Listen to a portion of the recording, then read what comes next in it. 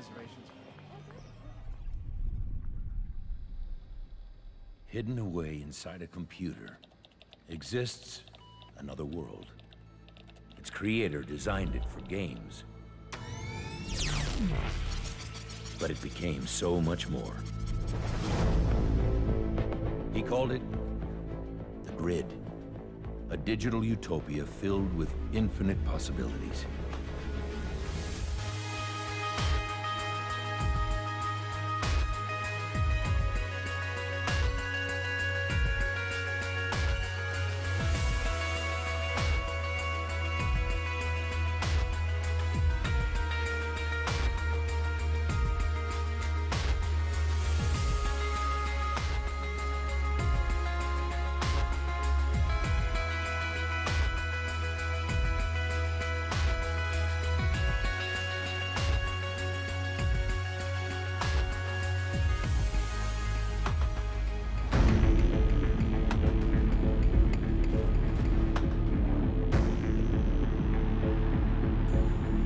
2010, Disney gave us Tron Legacy, a long, convoluted sequel to a 30 year old movie. Tron Legacy focused more on the users trying to escape the grid and less on the actual programs who had to live inside the grid under Clu's occupation. We didn't really get to take it all in. I mean, yeah, we did see some parts of the grid, we saw like glimpses and flashbacks, but we didn't get to see the full thing. We didn't get to take it all in. This is where Tron Uprising comes into play. Tron Uprising is a prequel to Legacy, and it's supposed to fill in the gap between the 1982 Tron and the 2010 movie. After getting sick and tired of Clu's reign, a young program by the name of Beck decides to start a revolution. Wanting to give the people of Argon hope, he dresses up as the dead Tron and decapitates a statue. Now, at first, this is a small act of vandalism, but things get pretty crazy pretty quick. One program Tron saved the grid before. Maybe he could do it again. fights back. Oh, Who did this? Name's Beck. He's good, but he's no Tron. This June, Do you really think if they believe Tron's alive, it will inspire a revolution? I know it will. On the grid, I want to do this. a new hero I have to do this. will reprogram I'm ready. the future. You're not afraid? No. You should be. Tron Uprising, a brand new animated series premieres this June, only on Disney XD. as it ends with him being caught on the outlands of the grid by what seems to be one of Clu's soldiers. It's then revealed that this soldier was actually Tron all along and Tron was alive. You won't hurt me, What makes you so sure? because you were right about one thing.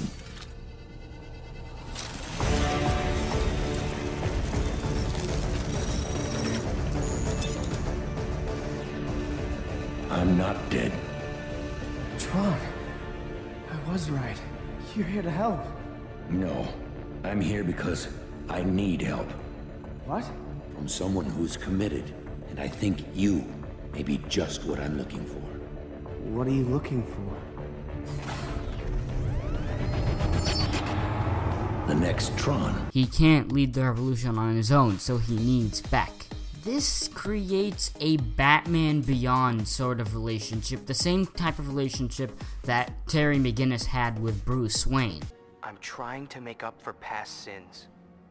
The state says my three months in juvie wiped me clean, but my soul tells me different. Every time I put on that suit, it's my chance to help people who are in trouble. I guess on a personal level, it's a chance to look like a worthwhile human being again. In my eyes, if no one else's.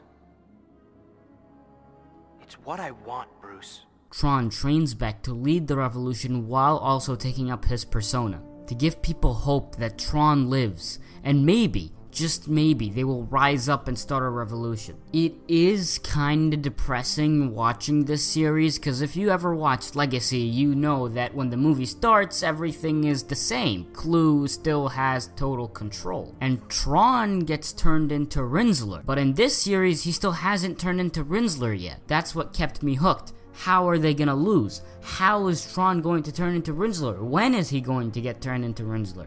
Why does the revolution fail? So many questions that go unanswered. But you will be.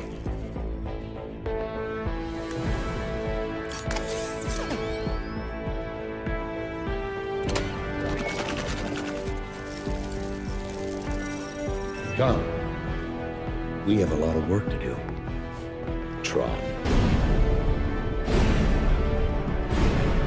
The show was also just nice to look at, with outstanding CGI animation and beautiful neon colors bursting out at you from every corner. It was so incredibly cinematic and far beyond what I would imagine ever seeing as an animated television show. To me, I'd never really seen animation quite like that before. It was beautiful. It looked like framed pieces of art. It feels like it's ahead of its time as far as animation goes. The artists that worked on this have managed to put more creativity in every image in this thing than I thought was even possible. And that was just a very, very brief summary of Tron Uprising. Great characters, and a beautiful world, and some amazing animation, and a gripping story, and it got cancelled.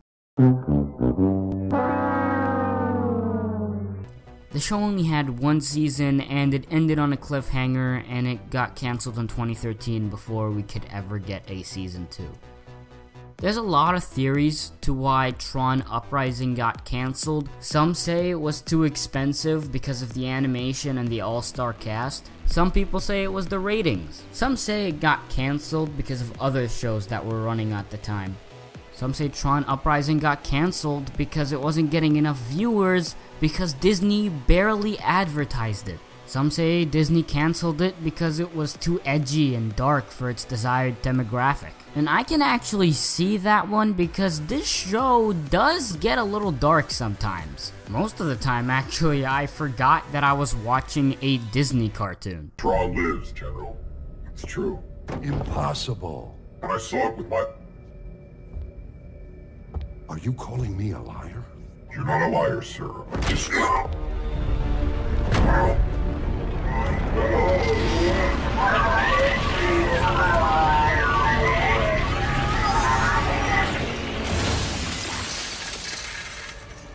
Pavel, get someone in here to clean this mess up.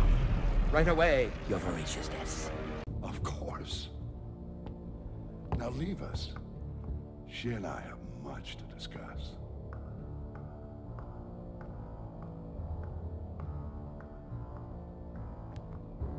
To serve Clu is a privilege. I won't let you down again, sir. I won't.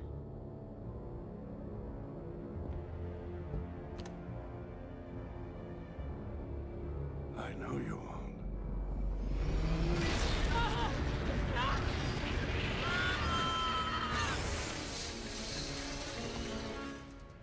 Welcome home. Can't. Beck, we're running out of time. Um, sorry, Beck.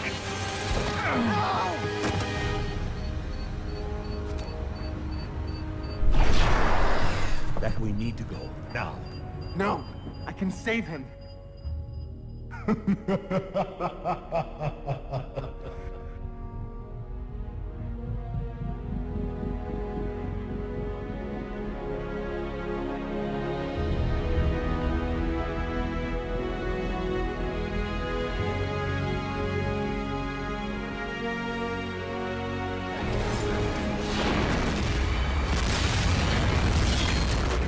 that's what happened to Tron Uprising. It got screwed over by Disney. Heck, this video is probably gonna get screwed over by Disney. Don't you just love YouTube? I know I do. There is a petition to bring back Tron Uprising, but it's buried all the way beneath this garbage that people are sending to Disney on Change.org. Like, look at this.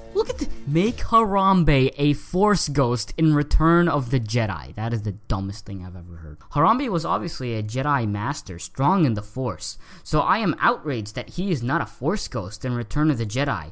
He was a peacekeeper and a furry friend. Without Harambe, Luke Skywalker would have never defeated the Empire, and the Star Wars story would be completely different. He deserves to be he deserves to be shown as a force ghost. It's an injustice for this for this not to already be a thing. I strongly encourage that you make this change, Disney, as it will please many fans and bring justice to Harambe as a character. See, it's stupid jokes like this that are stopping actual legitimate change.org petitions from going through.